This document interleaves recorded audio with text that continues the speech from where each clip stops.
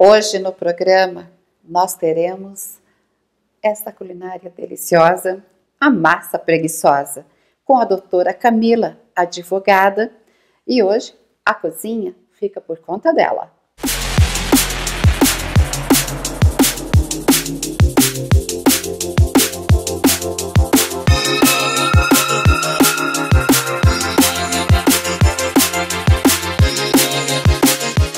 Muitas pessoas acham que por ser uma advogada ou ser um empresário, eles não cozinham. Cozinham sim. E a doutora Camila cozinha bastante. E hoje ela vai fazer uma receita bem prática. Também no, o nosso tempo é um tempo curto para a culinária, mas pode ter certeza que dará tempo da gente fazer o nosso macarrão bem gostoso. E daí, minha amiga, o que, é que nós vamos fazer hoje? Hum, hoje nós vamos fazer uma um espaguete, uma massa que ficou famosa na internet por ser muito fácil de fazer, poucos ingredientes. E você fez o teste, deu certo. Fiz o teste, deu certo. Então agora aqui vou ensinar vocês a fazerem esse, essa massa facílima. Demora 10 minutinhos. Isso é bem prático, hein? Só que eu gostei foi da massa, viu? Uma massa feita com beterraba. Ah, eu trouxe aqui um talharim, que ele é uma massa caseira. Uhum. E... Olha só que lindo, gente. De beterraba. Ó, tem também de espinafre. Quem sabe um dia a gente até vem aqui trazer a receita dessa massa, né? Exatamente. Agora é contigo. Ai, ai, que responsabilidade, hein? Vamos lá então. Nós estamos aqui com 250 gramas de talharim. Talharim. Já podemos pôr de... aqui já, para cozinhando. Né, gente? Assim não, per não perco tempo, né? Ai, ai, ai. então, enquanto a massa vai entrando aqui para ficar bem. Ela vai amolecendo, ela cai, não precisa você quebrar. Uhum. Para ficar bonitinha, ela vai ficar inteirinha, ó, ela já tá, já vai amolecendo. Né? Aqui no outro refratário, esse refratário vai para o forno. Nós temos 300 gramas de tomatinho cereja. E agora nós vamos colocar aqui o queijo. O que eu estou usando para essa receita aqui é o queijo brie, mas você pode usar o que você tiver na sua casa. Dá para fazer com queijo Minas, dá para fazer com gorgonzola, o que você tiver, que você vai, gostar mais. Vai dentro do refratário? Dentro Já? do refratário. Então, colocamos aqui. Agora vai o azeite. Aqui, quando você tem aquele dispensador, você vê um tanto que você gosta. Tem gente que gosta do macarrão um pouquinho mais oleoso para ficar lembrando aquela, aquele aspecto ali óleo. Aqui nós colocamos meia xícara de azeite. Cadê o tomatinho cozinha? Uhum. Vamos colocar um pouquinho de sal. Aqui vai sal? Sal a gosto também. Então ali vai sal. E na massa também. Também. Nossa, gente, essa receita é bem prática, hein? Muito prática. Muito, muito. Dá também para servir esse, esse, esse tomatinho aqui, é o confitado que as pessoas chamam, né? Com, servir assim, coloca na, no forno assim, espera derreter e depois serve com torradas. Fica uma delícia. delícia. Fica uma delícia. Aqui nós temos também pimenta do reino. Pimenta do reino. Hoje tá difícil sair as coisas aqui. uma pitadinha para quem gosta, né? Quem não gosta. Eu gosto de pimenta. Você gosta? Eu amo. Eu também amo, amo, amo, pimenta. amo pimenta. Muito gostoso. Vou tomar até um cuidado. Nós temos aqui algumas ervas frescas. Eu trouxe manjericão. A gosto, quem gosta coloca, quem não gosta não precisa colocar. Uhum. Então, coloca aqui um pouquinho de manjericão. Um pouquinho de alecrim. Pode ser o desidratado também, o manjericão também. Como em casa tem o fresquinho, eu prefiro usar o fresco. Só Você tem em casa? Eu tenho. Você tem esse capricho da horta? Eu adoro, adoro cozinhar. Então, quando me sobra tempo, a gente vai para a cozinha.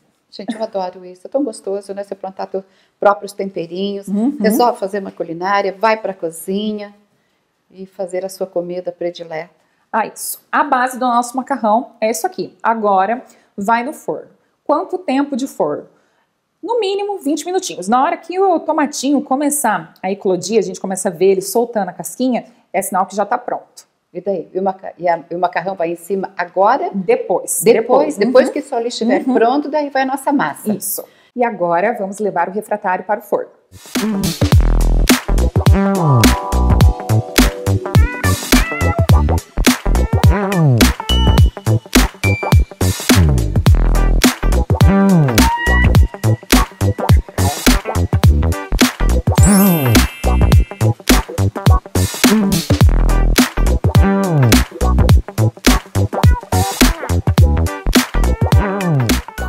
E agora é isso aqui. Muito simples, nós vamos dar uma mexidinha. Nós já tiramos do misturar. forno, por motivo do frio já, já endureceu um pouquinho, Já. né? Uhum.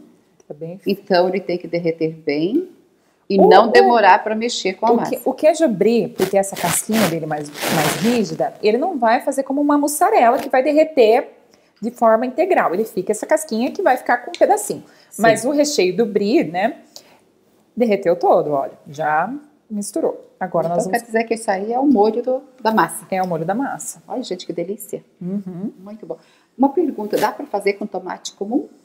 Nunca tentei, mas dá sim, né? Colocar tam- fatias de Uhum. tomate, um pedaço de tomate com queijo e que derreta com Uhum. o óleo junto, né? E também uns verdinhos Uhum. temperinhos. Agora vai a massa.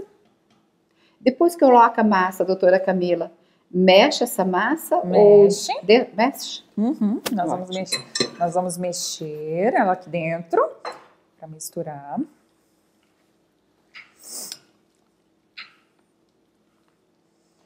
Você não quer dois, dois garfinhos? Mais fácil, né? Eu acho. Facilita. Deixa eu pegar um só aqui. Imagina o sabor disso tudo, gente. Uhum. Quer ver misturar queijo? Em que a gente só colocou um aqui, mas colocar dois, três tipos de queijo fica. Qualidade diferente? Uhum.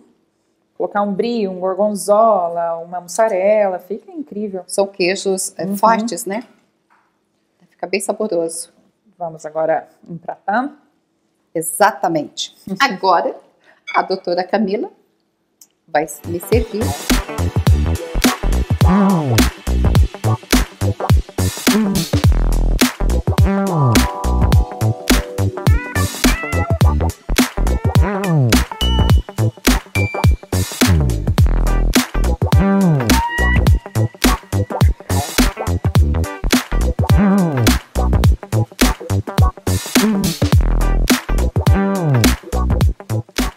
Eu acho que chega, né?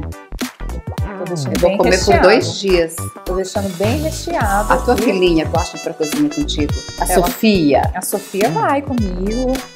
Ela gosta. é experimentar. Ai, ai, ai.